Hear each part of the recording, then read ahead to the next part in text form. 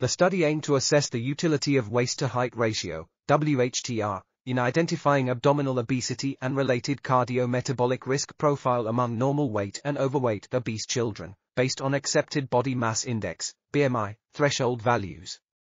The study used cross-sectional data from 3091 black and white children aged 4 to 18 years, with information on various cardiometabolic risk factors.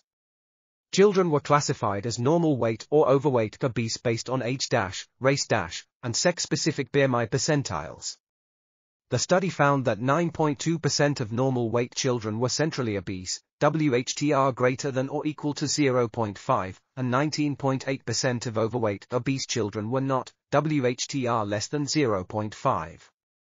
On multivariate analysis, the normal weight centrally obese children had significantly higher prevalence of adverse cardiometabolic risk factors such as LDL cholesterol, HDL cholesterol, triglycerides, and insulin, as well as a higher prevalence of parental history of type 2 diabetes mellitus and metabolic syndrome.